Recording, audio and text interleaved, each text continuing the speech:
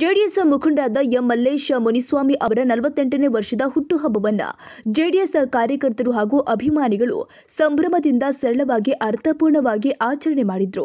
ಈ ಸಂದರ್ಭದಲ್ಲಿ ಮಾತನಾಡಿದ ಮಲ್ಲೇಶ್ ಮುನಿಸ್ವಾಮಿ ಅವರು, ನಮ್ಮ ಅಭಿಮಾನಿಗಳು ಹಾಗೂ ಕಾರ್ಯಕರ್ತರು ನನ್ನ ಹುಟ್ಟುಹಬ್ಬವನ್ನ ವಿಜೃಂಭಣೆಯಿಂದ ಆಚರಣೆ ಮಾಡಲು ತಯಾರಿ ನಡೆಸಿದ್ರು. ಆದರೆ ನಾನು ಬೇಡ ಅಂದಾಗ ಅರ್ಥಪೂರ್ಣವಾಗಿ ಆಚರಣೆ ಮಾಡಲು ತೀರ್ಮಾನಿಸಲಾಗಿದೆ ಅಂತ ಹೇಳಿದ್ರು. ಶ್ರೀ ಕೋದಂಡರಾಮಸ್ವಾಮಿ ದೇವಾಲಯದಲ್ಲಿ ವಿಶೇಷ ಪೂಜೆ ನೆರವೇರಿಸಿ ದೇವಾಲಯದ ಮುಂಭಾಗ ಮಲ್ಲೇಶ ಮುನಿಸ್ವಾಮಿ ಅವರಿಗೆ ಅಭಿಮಾನಿಗಳು ಮಾಲಾರ್ಪಣೆ ಮಾಡಿ ಕೇಕ್ ಕತ್ತರಿಸಿ, ಸಿಹಿ ಹಂಚಿಕೆ ಮಾಡಿ ಆಸ್ಪತ್ರೆ ವೃತ್ತದಲ್ಲಿ ಇರುವ ಚರ್ಚ್ನಲ್ಲಿ ಪ್ರಾರ್ಥನೆ ಸಲ್ಲಿಸಿ, ಹಾಗೆಯೇ ಶಂಶುದ್ದೀನ್ ಹೌಲ್ಯ ದರ್ಗಾ ಆವರಣದಲ್ಲಿನ ಮಸೀದಿಯಲ್ಲಿ ಪ್ರಾರ್ಥನೆ ಸಲ್ಲಿಸಿ, ನಂತರ ಸಂತೆ ಗೇಟ್ ಬಳಿ ಅಂಬೇಡ್ಕರ್ ಪ್ರತಿಮೆಗೆ ಮಾಲಾರ್ಪಣೆ ಮಾಡಿ ಬೋವಿ ನಗರದ ಶ್ರೀ ದಂಟು ಮಾರಿಯಮ್ಮ ದೇವಾಲಯದಲ್ಲಿ ಪೂಜೆ ಸಲ್ಲಿಸಿ, ಚೆಕ್ಪೋಸ್ಟ್ ಬಳಿ ಕೆಂಪೇಗೌಡ ಕಂಚಿನ ಪ್ರತಿಮೆಗೆ ಮಾಲಾರ್ಪಣೆ ಮಾಡಿ ನಂತರ ಶ್ರೀ ಶತಶೃಂಗ, ಕಿವಿಡ ಮತ್ತು ಅಂಧ ಮಕ್ಕಳ ಶಾಲೆಯಲ್ಲಿ ಹಾಗೂ ಶ್ರೀ ಸಾಯಿ ವೃದ್ಧಾಶ್ರಮದಲ್ಲಿ ಅನ್ನದಾನ ಕಾರ್ಯಕ್ರಮವನ್ನು ಏರ್ಪಡಿಸಲಾಗಿತ್ತು. ಲಕ್ಷಾಂತರ ರೂಪಾಯಿ ಹಣ ವ್ಯಯ ಮಾಡಿ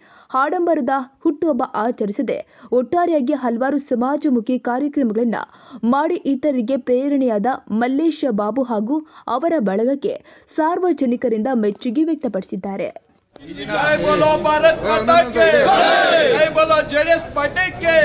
जय बोलो ಮಲೇಶ್ ಬಾಬಣ್ಣ ಕೆ ಜೆಡಿಎಸ್ ಪಕ್ಷದ ಅಭ್ಯರ್ಥಿಗಳು ಆದಂತಹ ಹಾಗೂ ಮುಂದಿನ ಶಾಸಕರಂತೆ ಬಿಂಬಿತವಾಗಿರ್ತಕ್ಕಂಥ ನಮ್ಮ ಮಲ್ಲೇಶ್ ಮಲ್ಲೇಶ್ ಮುನ್ಸಾಮಣ್ಣನವರ ನಲವತ್ತೆಂಟನೇ ಹುಟ್ಟುಹಬ್ಬದ ಆಚರಣೆಯನ್ನು ನಾವು ಈಗಾಗಲೇ ತೀರ್ಮಾನ ಮಾಡಿ ಸರಳವಾಗಿ ಆಚರಿಸಿ ಮಾಡಬೇಕು. ನಾವು ಅದ್ದೂರಿಯಾಗಿ ಆಚರಣೆ ಮಾಡಿ ಬೇರೆ ರೀತಿಯಲ್ಲಿ ನಾವು ಎಲ್ಲ ವೇಸ್ಟ್ ಖರ್ಚು ಮಾಡೋದು ಬೇಡ. ಇದನ್ನು ಜನೋಪಕ್ಕೆ ಕೆಲಸಕ್ಕೆ ನಾವು ಮಾಡಬೇಕಂತಕ್ಕಂಥ ವಿಷಯಗಳನ್ನು ತೀರ್ಮಾನಿಸಿ ನಾವು ಈ ದಿನ ಒಂದು ಸರಳವಾಗಿ ಒಂದು ಇಲ್ಲಿ ಕೋದಂಡರಾಮಸ್ವಾಮಿ ದೇವಸ್ಥಾನದಲ್ಲಿ ಒಂದು ಅಭಿಷೇಕ ಪೂಜೆ ಮಾಡಿ, ತದನಂತರ ಅಂಬೇಡ್ಕರ್ ಸ್ಟ್ಯಾಚು, ಕೆಂಪೇಗೌಡ ಮತ್ತು ಮಸೀದಿ, ಚರ್ಚು ದರ್ಗಾ ಎಲ್ಲ ಕಡೆನೂ ಹೋಗಿ ದೇವರ ಆಶೀರ್ವಾದನ ಪಡೆಯೋದಕ್ಕೆ ಒಂದು ತೀರ್ಮಾನ ಮಾಡಿಕೊಂಡಿದ್ವಿ. ಅದೇ ರೀತಿಯಲ್ಲಿ ಈಗ ಇಲ್ಲಿ ಅರ್ಚನೆ ಪೂಜಾ ಕಾರ್ಯಕ್ರಮ ನಡೆದಿದೆ.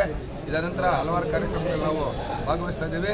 ಈ ದಿನ ಇವತ್ತು ನಮ್ಮ ಮಲ್ಲೇಶನವರಿಗೆ ಇಷ್ಟೊಂದು ಅಭಿಮಾನಿಗಳು ಎಲ್ಲರೂ ಒಂದು ಫೋನ್ ಮೆಸೇಜ್ಗೆ ಒಂದು ವಾಟ್ಸಪ್ ಕಳಿಸಬೇಕು. ಇಷ್ಟೊಂದೆಲ್ಲ ಅಭಿಮಾನಿಗಳು ಬಂದು ಅವ್ರನ್ನ ಹೃತ್ಪೂರ್ವವಾಗಿ ಅಭಿನಂದಿಸಿದ್ದಾರೆ. ಅವರೆಲ್ಲರಿಗೂ ಸಹ ನಮ್ಮ ಪಕ್ಷದ ಪರವಾಗಿ ಮಲ್ಲೇಶ್ವರ ಪರವಾಗಿ ಹೃತ್ಪೂರ್ವವಾಗಿ ಧನ್ಯವಾದಗಳನ್ನು ತಿಳಿಸ್ತಾ ಇದ್ದೀವಿ.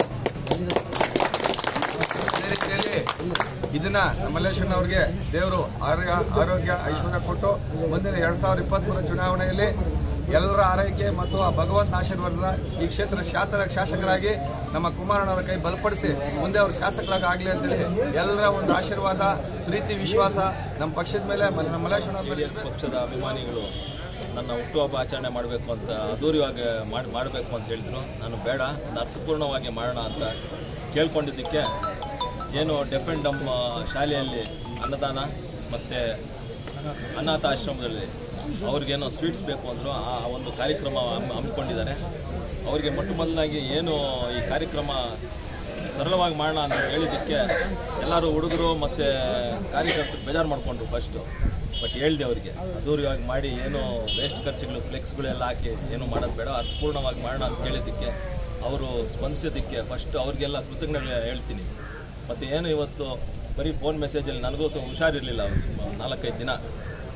ಏನೋ ಒಂದು ಫೋನ್ ಮೆಸೇಜ್ ಹಾಕಿ ಬರಲೇ ಬರಬೇಕು ಅನ್ನೋದಕ್ಕೆ ಇವತ್ತೇನು ಬಂದು ದೇವರ ಆಶೀರ್ವಾದ ಮತ್ತು ದರ್ಗಾಲ್ಲಿ ಮತ್ತು ಚರ್ಚಲ್ಲಿ ಏನು ಆಶೀರ್ವಾದ ಪಡಿತಾ ಇದ್ದೀವೋ ಅದು ನನಗಂತಲ್ಲ.